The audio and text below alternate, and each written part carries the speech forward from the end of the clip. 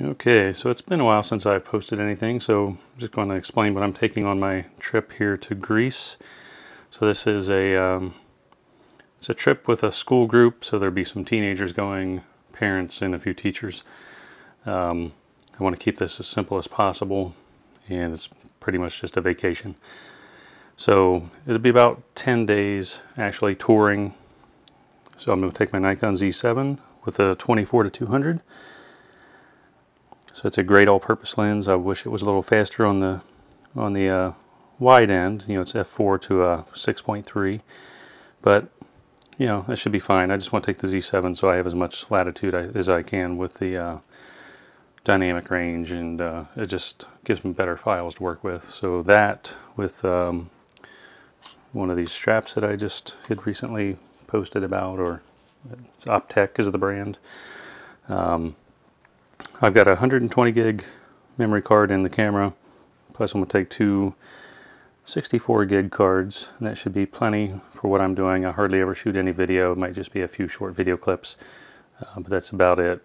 One of these uh, Watson dual battery chargers, so I've got, you know, these, says D750, but it's, you know, the EN EL 15, I guess, battery. So I've got two extra batteries plus one in the camera, so that's three batteries total, which is more than I need. Uh, but anyway, this charges two at a time, and it also has a couple, well, one USB port on the side, and uh, takes a regular 110 volt up to uh, you know 240 or whatever that Europe uses, and I have some power adapters for that to fit in the sockets there. Um, but it also you can get this with a, a, uh, car charger, so like it would have like this connection with a cord that goes into the to the charger itself and I'm to take one of these just in case, but I don't think I'll need it. Um, we'll be on a tour bus. So this is the a two-port USB charger that would plug into a power outlet on a car. I'm to take the extra power charger, battery charger, the um, Nikon brand one that came with the camera. Uh, one USB um, um, battery pack, so I could either use that to charge the battery in the camera in an emergency, which I don't think I'd ever need to because I have plenty of batteries. Uh, but this mostly be for my phone if I ever needed to charge my phone, top it off once. And uh, just for the heck of it, another USB charger here. Again, this is for 110 volts, but we have the adapters for the power over in Greece. Uh, I've got some wired headset here for my iPhone wireless Bluetooth um, headphone for listening to music on the airplane mostly, or in the hotel. A uh, little retractable brush for my camera, cleaning the lens or whatever. I'm not going to take my blower because it's a little bulky, so I'm not taking the lens off. This is a sealed lens anyway, you know, weather sealed, so shouldn't be any dust getting on the sensor and it's fine as it is now so if I just leave the lens on there it should be fine. Some um, lens cleaner. This is um, lens cloth. Trident chewing gum.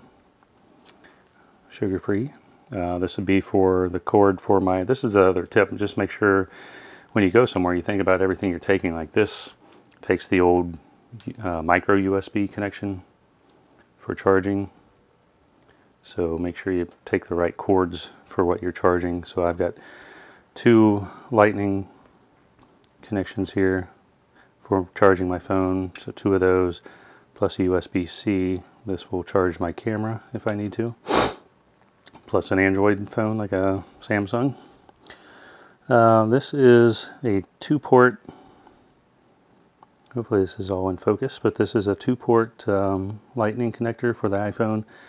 So I can plug it into the charger, for example, and uh, actually, no, this plug into the this plugs into the phone, this side, and then I'll have two outlets, one for like a um, charging cord for charging the phone, plus using a wired headset. So if I did want to use my wired headset, which is in here, at the same time I'm charging it with one of these cables, then that's what this would be for. Um, and this is just a little data blocker for USB, so if I want to plug my phone in somewhere, and um, not be compromised by any um, anybody that might be attaching one of those devices that actually um, would allow somebody to try to hack into your phone through a charging port. Um, this this is just um, a dummy charger. It just allows power through, but no no data connection. Uh, see, I think that's about it.